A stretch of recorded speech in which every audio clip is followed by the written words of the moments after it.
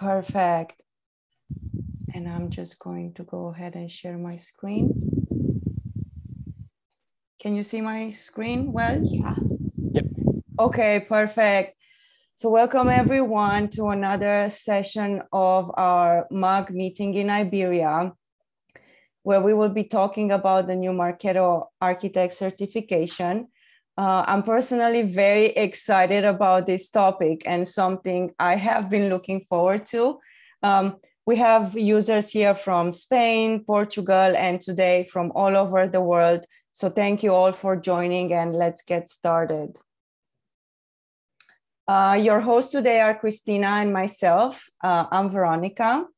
Uh, we both live in Spain, and while I'm not uh, native Spanish, I do speak some Spanish. Uh, most of the time, I speak Marketo. I'm a Marketo certified expert, and I'm uh, currently a marketing ops manager at a company called Alma, and we are operating in the healthcare space. And uh, last year, I was named Marketo champion, and part of this role uh, is to bring together the community here in Europe and share learnings and best practices for all.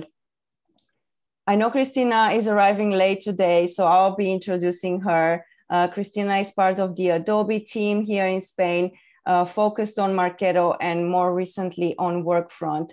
Uh, Christina and Carlo will be running a giveaway at the end of the session so make sure you stay with us until the end. Um, moving on to the housekeeping slide, I want to make sure that you know this space is first and foremost for the user. And uh, it remains uh, a space to share our challenges, our solutions. So for these reasons, Adobe has set a few rules such as no self promotion and uh, pitching and not contacting people outside of the mug without their consent. I would also like to remind the ones who just joined that we are recording this session for later reference and the recording will be uploaded to the Marketo YouTube channel, which I hope you are following.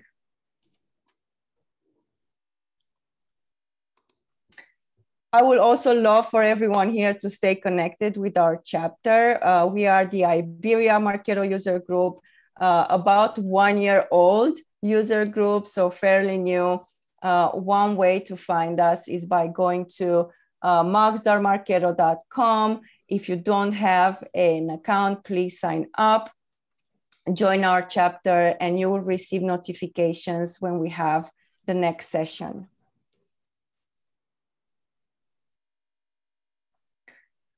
Okay, so let's look at what else is new. Here is a list of all the Marketo user group sessions scheduled for this month, and they are open for all of us to join, no matter where you are located in the world.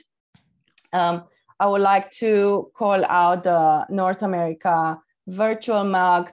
Um, I think they are doing a new feature spotlight for the release of the global form validation, which I think is very interesting to discuss. Um, there's a, a, few office hours as well. Um, just in general, there are not that many sessions happening in March. And this is because the biggest event takes the main stage. Um, and here I'm talking about the Adobe Summit. Uh, this event is running from March 15 to the 17 you will find a lot of sessions about Marketo. I think there are about 30 sessions and a chance to network with your peers. Um, I will drop a link in the chat for the summit and also for the brain date. Um, one session I would like to highlight is the power of Bizible, uh, which is run by our guest speaker today, Ajay Sarpal, together with Kimberly. Uh, they are both Bizible experts.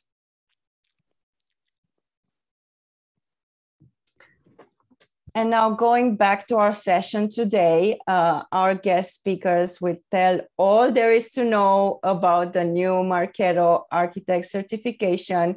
Um, they'll give us some tips how to prepare for the exam.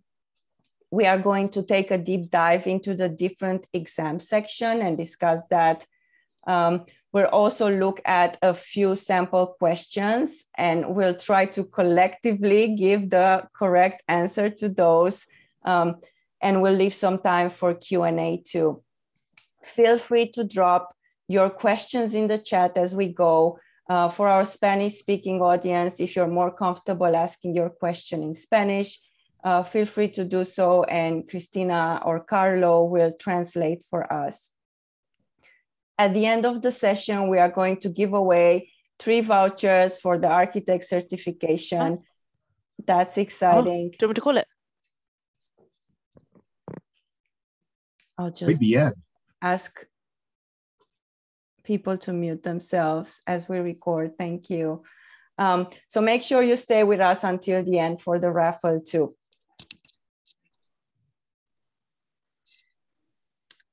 All right, so I'm incredibly grateful and happy to have uh, two of the most incredible Marketo champions joining us today.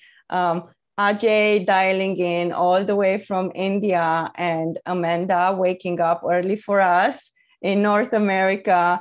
I would love for you to come off mute and introduce yourselves. Uh, Ajay, let's start with you. Thank you. Thank you, very, Veronica. And appreciate the introduction here. And thank you everyone for dialing in from the different part of the globe. I'm really sorry I need to turn off my video because, you know, all of a sudden uh, my internet sort of started lagging and I need to be on my backup internet. I hope you all are able to hear me well. We can yes. hear you well. Awesome. Thank you. So my name is Ajay Sarpal. I'm based out in Bangalore, India. I'm six times Marketo certified expert, three times Marketo champion, 2020's champion of the year, 2019's fearless marketer, plus I'm Salesforce certified admin, sales cloud consultant and app builder and blessed to be a part of Marketo's core certification team. So I actually wrote the first Marketo certified associate exam and also was a part of the team uh, who actually ended up writing the Marketo certified expert, the recently one which was launched last year, plus this Marketo certified uh, architect exam as well. So I'm two times a Marketo's subject matter expert and subject matter expert title is given to those who actually complete uh, all the formalities uh, to launch a, a, certification. And I'm MCSA as well. So uh, glad to be speaking here and looking forward to answering your questions. Thank you, Ajay. Yeah, I'll hop in and go next. Hi, everyone. I'm Amanda Thomas. Um, my credential list is not as long as Ajay's, but uh, still very happy to be here. And I did work with Ajay closely uh, alongside some other Marketo champions on this new MCSA exam. Um, I'm a marketing ops consultant at Etumos, and I'm based in Houston, Texas. I'm very happy to be here and hop into all the topics and sample questions we have for you. Thank you, Amanda. I'll switch to the next slide. Cool. Uh, so this is the exam information slide and you know the new number of the exam number is ADO E556 and the exam name is Adobe Marketo Engage Architect. And the best thing is that earlier this certification was only meant for partners, means you know you need to be a partner in order to give this certification. But now that this is the bestest part, that anyone can give this certification provided they meet uh, the minimum criteria which Amanda is going to discuss. And it is this certification is open for customers and partners. The validity of this certification is of two years the prerequisite is that you know you should be Marketo certified expert. Uh, it is right now only available in English. The passing, sorry, the total questions which are going to get asked is 50. Um, most of the questions will be multiple choice question followed by a case study. Uh, so just one thing which I want to bring to your attention that uh, in none of the previous Marketo certification, uh, there was a case study to read on. But for this one, there is going to be a case study. And you know that is something which you need to read. And there will be a few questions based on that case study. So you may have to uh, refer to this a few times. Uh, the duration of this exam is 150 minutes. And you know the delivery is on-site and online. And the passing mark is actually 30 out of 50 and the price you know it is different in india in you in, in in the other part of the world. In, in india it is 150 dollar and you know across the globe except india it is 225 dollar usd next slide please Perfect. Yeah, I'll jump into this. So, preparing for the exam, these are basically your minimum requirements um, to kind of check in with yourself to make sure you're actually ready for this exam. So, experience that is recommended is um, that you're a current MCE and you have at least five years of experience using Marketo. Um, hopefully, some of that experience is within multiple instances of Marketo. Um, I don't believe they actually like check to make sure all of this is true, but um, you're just going to put yourself in a better position to uh, be able to pass this exam if all of this is true for you. Um, you definitely want familiarity with the tools and technologies in Marketo and surrounding Marketo. So, of course, you want to know all the Marketo features and functionalities and the apps um, within Marketo. That's um, some of that related to MCE, um, but you want to know them very thoroughly. Uh, the database systems um, that function within Marketo and outside of Marketo, your API connectivity, a CRM platform. So um, Salesforce is, you know, the number one CRM platform. So if you have experience with that, that's going to help you a lot. Um, but any CRM platform, if you know that it's connected to Marketo and the specifics around that connection, um, you should be good. And then uh, marketing technology platform. So um, think of your event tools or add-ons. Um, so around like Zoom or um, Splash, some kind of connectivity with tools that sit outside of Marketo that bring data into Marketo. Um, that's the experience that they're looking for. And then the business applications, um, we definitely want to make sure that you understand business impact and can effectively explain or communicate solutions to stakeholders at different levels in a company. So, um, very technical explanations, and then also some non technical explanations or applications of what you're actually building um, and how it would affect stakeholders. Um, definitely want to understand the business processes impacted by integrations.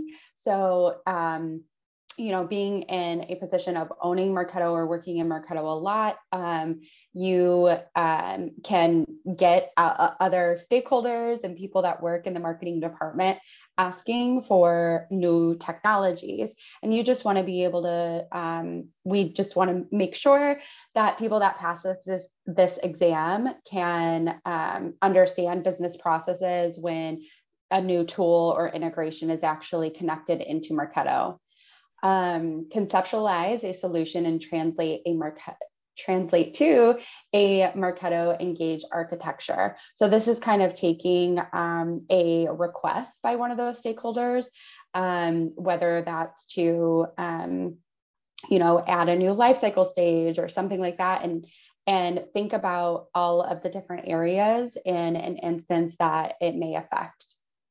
Um, study materials, I think we have the links in the uh, speaker notes, but these are also attached to um, a PDF that goes over all of this information. Um, but definitely want to check out the Marketo docs. Uh, I would suggest that you're actually searching for the topics within the Marketo docs. Um, that one pager it's not a one pager, that PDF that covers uh, all the exam details does list out all of your topics, and we'll go through them uh, just here in a second. Um, and I would just search some of those keywords into Marketo Docs to study um, and help you uh, with preparing for the exam. And then also definitely check out community, um, used to be called Marketo Nation. It's the Marketo knowledge base. Um, it's, I think, still um, Marketo Nation in the URL. So um, that will, of course, have a lot of um, study material for you, short videos, questions and answer posts, all of that. Um, so those are your resources for getting prepared.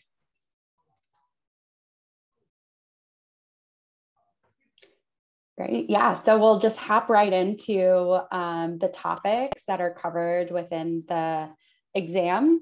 Um, the first one is project leadership. So um, I would say some of the topics covered in MCSA uh, are also covered in um, a little bit covered in MCE. So you might see some familiarity while you go through all of these topics. Um, but project leadership, I think, is something that stands out as being different, not really being part of the MCE. Um, so project leadership, um, I'm just, you can read through all of these, but I'm gonna, just gonna point out um, some highlights here. Um, you definitely wanna make sure that you can identify the right stakeholders uh, when a specific request or project actually appears.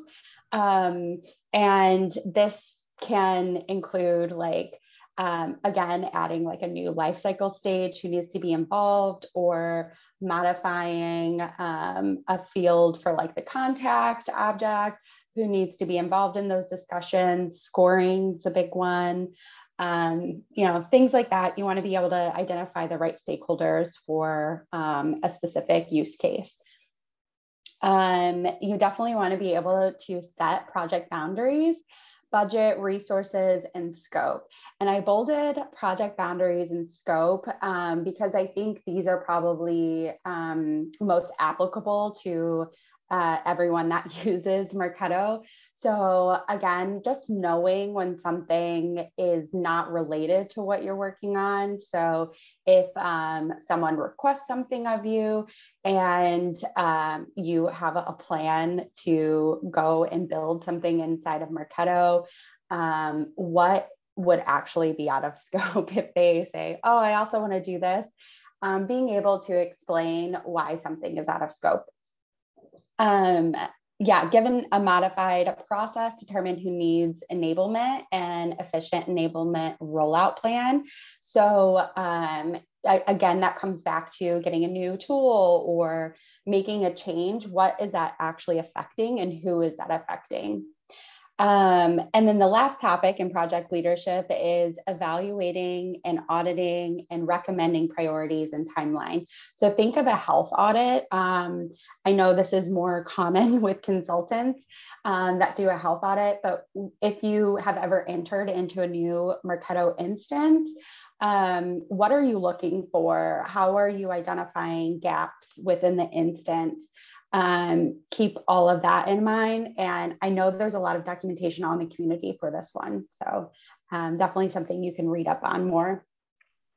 Um, with the architecture design, we're looking at um, some key design elements that we believe are very common with um, the traditional Marketo user. So one of these is lifecycle design. So um, looking at revenue cycle modeler, looking at life cycle stages, how do you actually stamp all that? Um, different behaviors uh, for scoring. So what data does Marketo actually read? Web activity, form fills, all of that. Um, and understand how you can identify those and use those to apply to a scoring model. Um, the next one in line is review an existing implementation and recommend actions to scale campaign execution. So, um, you know, if they lay out something that's like, this is the way things go, um, what could you change or tweak um, to actually make it more efficient and more scalable or even make it run faster um, within Marketo. So knowing campaign execution priorities, uh, race conditions, all of that is good knowledge to have. Um, outline an operational procedure for lead routing multiple for multiple countries.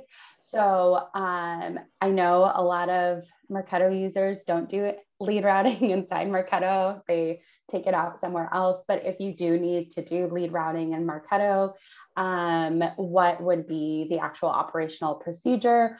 or if a statement is given that it is done outside, what kind of information do you need in order to execute um, that, that routing outside of Marketo?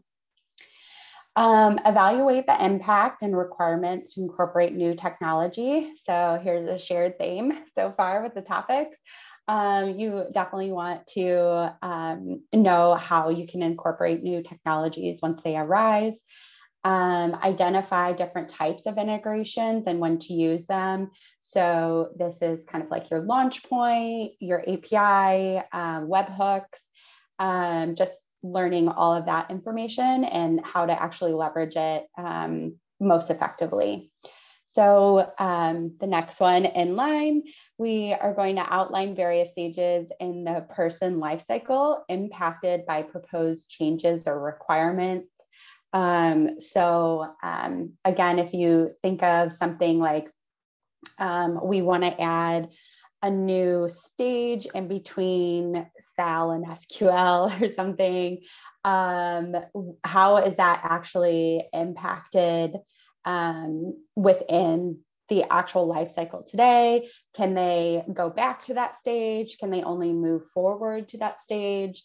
um, just understanding the impacts of changing something around life cycle design and appraise a set of requirements and recommend an approach to campaign logic. Um, so again, um, if you're trying to make sure that when someone syncs to Salesforce or your CRM, but your CRM has uh, a minimum number of fields or minimum requirements of information to actually create a person. You don't want that constantly failing, right? So you would think, um, how do I actually take an approach to this campaign logic to make sure by the time I sync it, it actually has all that information.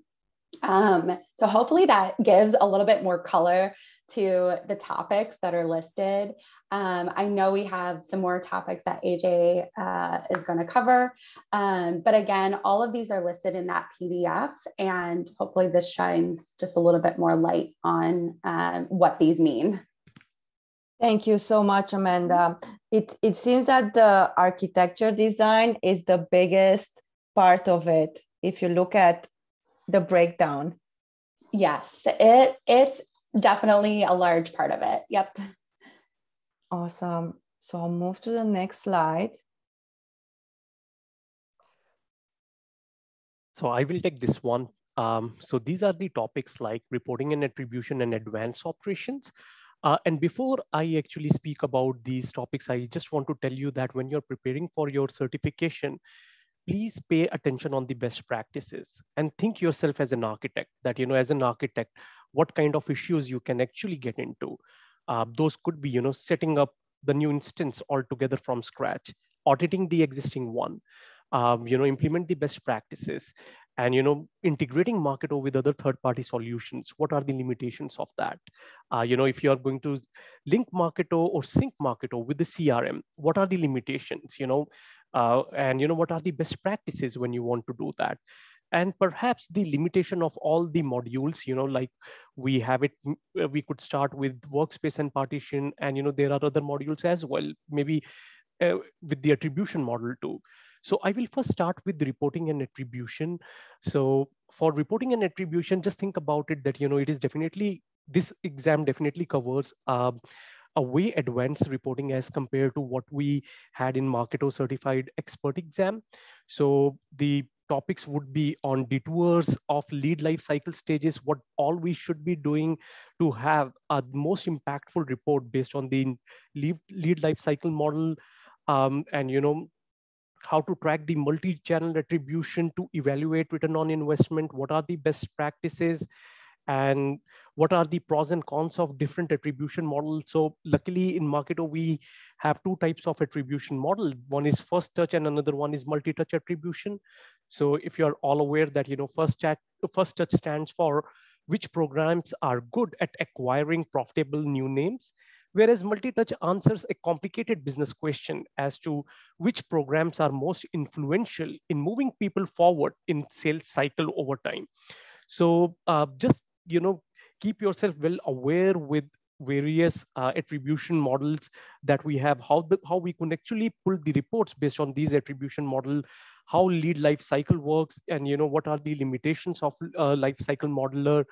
Um, and you know, uh, because the revenue modeler is setting you up for reporting, it is recommended that the transition always include triggers and you know what all the best practices which you may uh, read and find it out. Just you know go thoroughly on that. Um, and because you know when you're using triggers uh, you uh, your reports will reflect the true velocity of your model stage flow. So yeah just keep these things in in your mind. And when it comes to the advanced operation uh, the, first one would be that you know how to improve deliverability although it is the third one in the bullet point but in my opinion you know that actually uh, takes a very important role because you know as a consultant or as an architect these are the questions which have been asked to us that you know our emails are landing in spam or our open rate is poor. How could we improve it? What are the best practices? How we should you know improve our email deliverability and and you know it, it, how to improve the open rate and click through rate and all these kind of things you know we need to work on.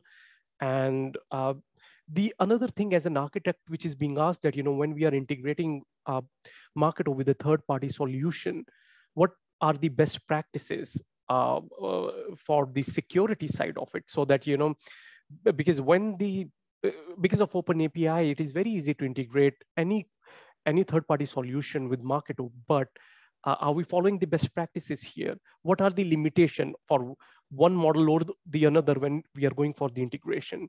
So uh, the another thing would be the uh, partition and uh, yeah, you know, workspace and partition. Maybe it would be better if you understand that you know the application of workspace and partition partition for a given scenario. So, yep. And the another topic would be you know to given a scenario identify the appropriate steps to improve management or governance. So yeah these are the points which you should focus on but honestly when you're preparing for this exam just think yourself as an architect and then think about it that you know what kind of situations you all could come in uh, or face most of the time when you know you you are working as an architect and most of the time those are going to be the real world challenge uh, could be related to reporting uh, could be related to improving uh, effectiveness could be improving the email deliverability, improving the security practices, and all these kind of things. And the best part is that if you explore Marketo community, you will be able to get these things. Of course, these won't be tagged as uh, Marketo certified expert questions or means anything of that, but you know, you need to just read those scenarios or read those real-time issues which the users are facing uh, in their day-to-day -day operations, and that will definitely help you. Next slide, Veronica. So here we have the sample exam questions, and please feel go through this question and uh, feel free to type in uh, the right answer which you think of this. You have three minutes to answer this one.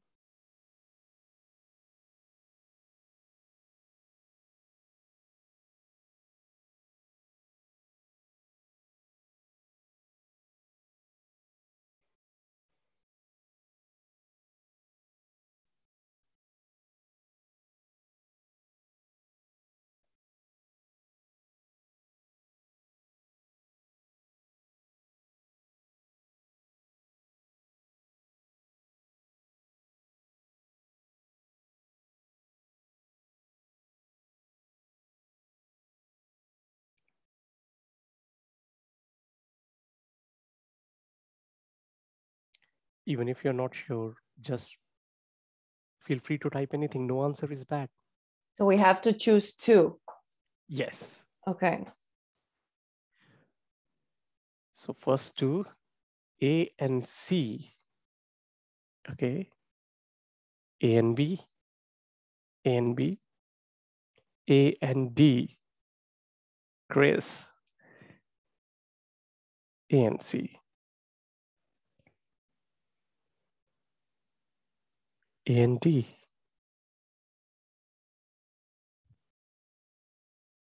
One and four.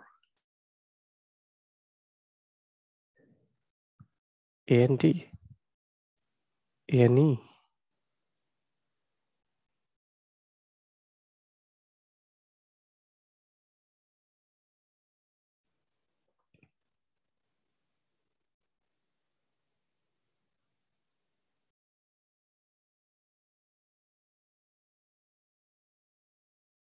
Yeah, it is tricky. It is always tricky. And this is how, you know, you need to read the question again and again to find out the correct answer.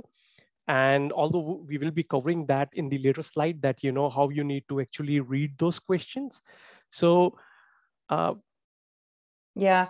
And, and I just wanted to call out that uh, Chris had a very nice approach writing here in the chat how to exclude the answers that you think are not correct. That's a strategy too for taking this test. Exactly, exactly. First of all, read the question properly because that is the most important thing that, you know, what is being asked here. And then, you know, the answer would be something at times would be slightly tricky just to understand the knowledge and just to understand that uh, you know uh, how well you know uh, the these situations and then issues. So should we move to the answer? Yes please. Okay. So the correct answer is a and d. So yep so most of the people they spoke about A and E. E can't be correct because you know compare unsubscribe rate of email for a specific period of time. Unsubscribe will not help you with the email deliverability.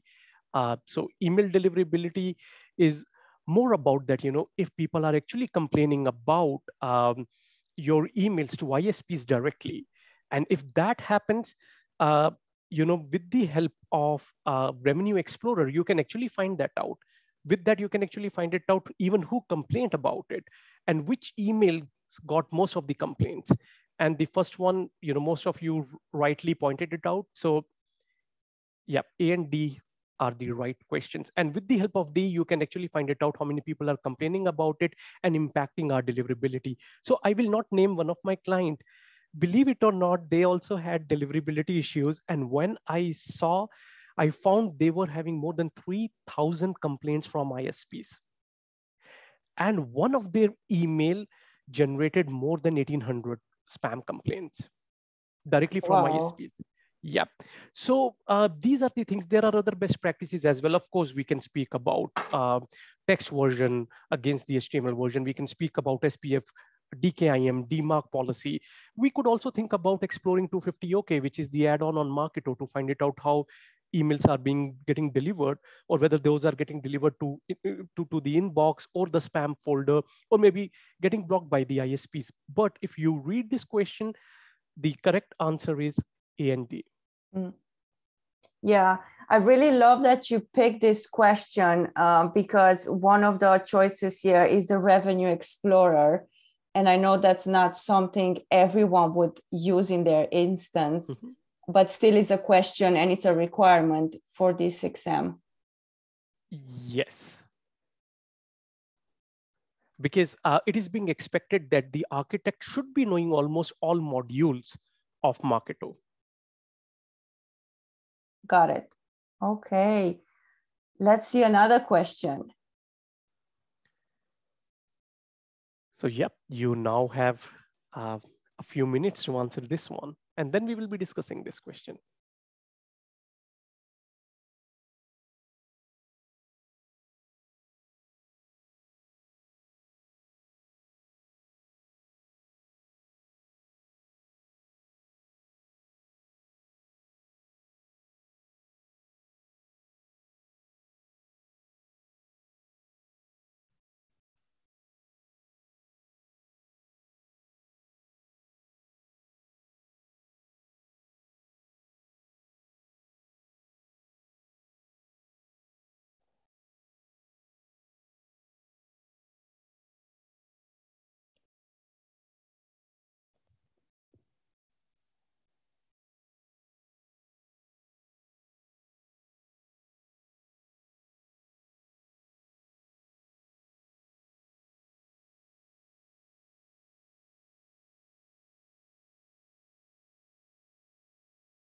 I suggest we go with A, B, C here uh, because yep. there's two steps for each answer. That's right.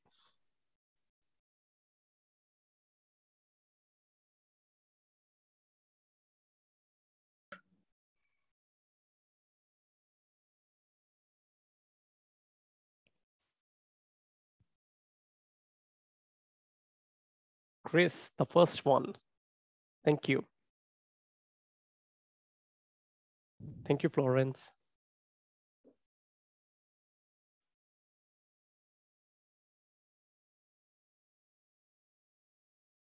Thank you, Kate.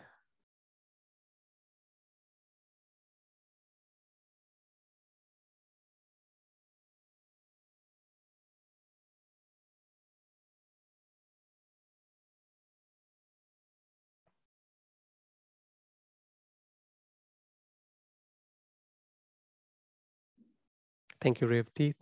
Thank you, Tara. Maybe, Veronica, we could go to the answer. Yeah.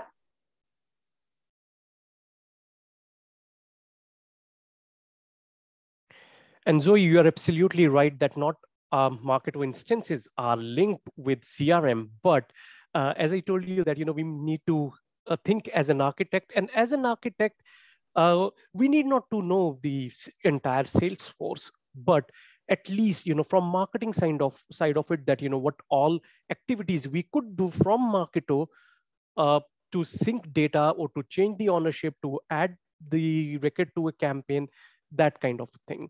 But yeah you're absolutely right. Not all um, marketo instances are synced with crm but trust me almost or maybe close to 70 to 80% are definitely synced to a CRM.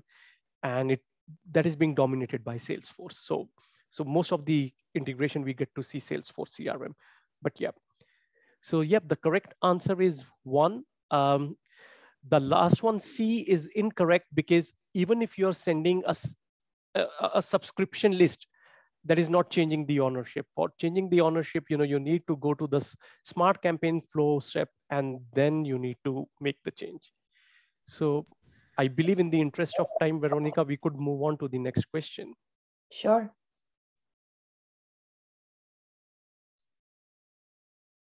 All right. Um, yeah, like Ajay said, give you a couple minutes. Um, be sure to read the question and the model actually look through that model.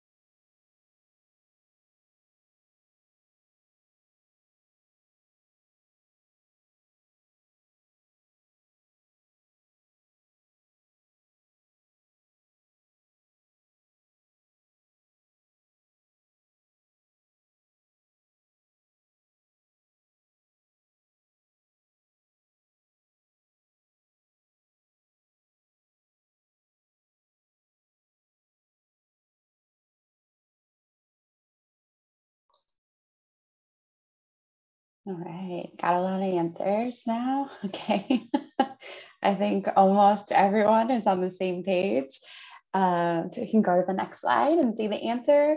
Yes, it is B. Um, so in this use case, um, the CMO says um, they want to track ongoing marketing engagement as lead moves down the funnel. Um, and that's the kind of key piece of information that we're looking at here. Um, so that piece of information, um, that means that he's referring to attribution, and that is a separate initiative. Um, life cycle um, and life cycle modeling, this is all dealing with thresholds that you put in place for activity, where attribution is kind of taking into consideration um, that, that activity um, as people move down the funnel and being able to backtrack it, right? Um, so B is the correct answer here. You can also use some process of elimination a little bit here. Um, as for A, a lead and a sales stage can never MQL again. If you look at the model, you can see that SAL and SQL, um, they can go, or SQL can go back to MQL. So SQL would be considered a sales stage. So you could eliminate that first one there. Um, and then uh, marketing engagement cannot be tracked after leads are in a sales stage. You can see that goes from SAL to SQL and then back. So um, that's where the model and reading the model can actually help you eliminate some answers here. Um, Modeler does not allow custom stage values and transitions.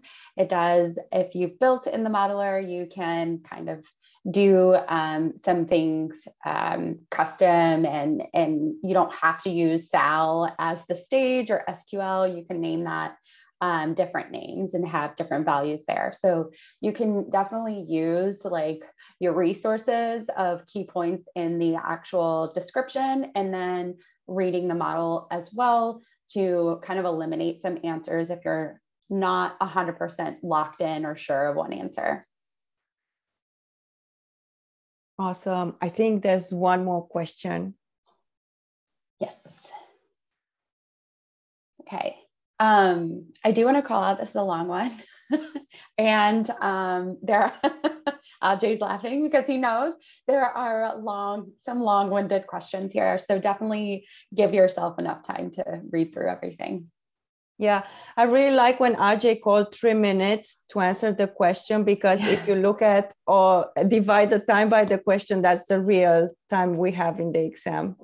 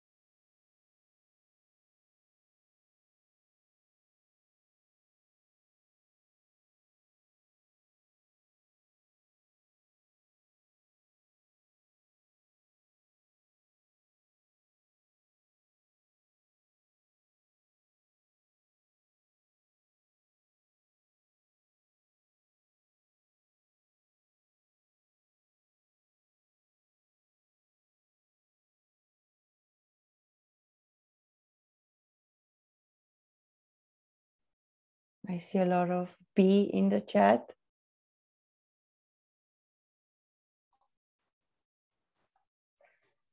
Yes, Chris.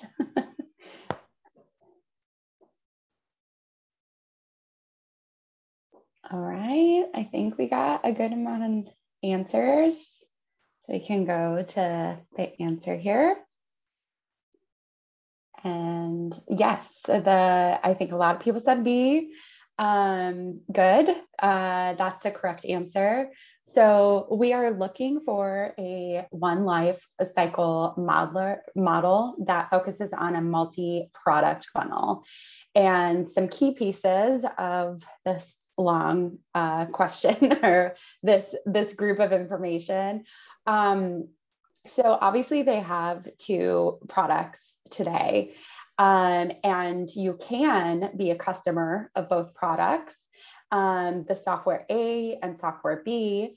And the most probably the probably the most in my opinion um, telling information here is the last line so within the next two years the company is going to release a, another software um, and um, they do not intend on selling or cross selling the actual software. So we are wanting to look for a life cycle that is scalable um, to incorporate A and B that exists today and the C that's eventually coming down the pipeline as well. So we're looking for one lifecycle model that focuses on multi-product funnel. Um, this way it's all in one spot and it's scalable. You can, you know, like add into it, add more stages if that's needed. Um, without going in and modifying your three lifecycle models and you don't necessarily want to build for something that doesn't exist yet today. So that would kind of eliminate that first answer there. Um, the one lifecycle model that focuses on prospects and customers without detours, um, you can obviously detour in one of the products and not the other. You definitely want your detour um, stages there. And then the two lifecycle models, one for prospect, one for customers. Again, you can be a um, prospect of one and a customer for the other, or you can be a customer of two. And then when C comes along, um, you could be a prospect for that. So that's again why we want that multi product funnel um, instead of separating it out with prospect and customer. Um, and I think we can, there might be some Q&A about this question, uh, but uh, B is the correct answer. Okay, thank you, Amanda. This is our last slide. Cool. I'll take this one. Uh, the best, uh, and, and Amanda, please feel free to chime in. Uh, so the tips, uh, you know, uh, for the general exam taking tips that you know so first of all be prepared and practice as much as you can read the best practices and you know get into as many scenarios as you could read which are available in Marketo community you may not be able to get those scenario or practical issues in Marketo doc but you know by just going through the questions or by going through the issues which are being faced by our uh, users in day-to-day life you will be able to actually understand that you know what are the typical questions or typical issues they get in. Read the question very carefully especially you know uh, those who are actually like me not a native english speaker and english is not their first language read question very carefully and pay special attention to not you know uh, at times when we're reading fast we usually tend to avoid reading not so just focus on that and plan how you will use the allotted time. This is very important. So let's assume if you're going through questions, there are 50 questions and let's assume you started with one question and you know that is that is lengthy. It is going to take a lot of your time and maybe not that area which you are comfortable in. I would strongly recommend not to spend 10 minutes on it. Maybe perhaps just, just glance it, answer the question, and then you can always review it later try to complete the exam as quickly as possible and within your allotted time and give close to 15 to 20 minutes to review those questions where you have few doubts. And you know, when you are in doubt, always use logic. Uh, logic in the sense, you know, just see that perhaps you know there are four options to one question. Two are definitely wrong. Which uh, and which one among these, the remaining two could be the correct. So yeah, use those logics and, you know, then, you know, use permutation and combination to get close to the right answer. And another important thing, answer all questions. That is the most important thing. And maintain a positive attitude because at times it happens that, you know, whenever we are giving the exam, the heartbeat is a bit faster, you know, we get a little bit of stress, uh, we get into a little bit of stress. It happens with everyone. Just try to believe in yourself, believe in your practice, and always maintain a positive attitude. If the first question of the exam is not something you're comfortable with, that doesn't mean that you don't know the all questions or the all answers.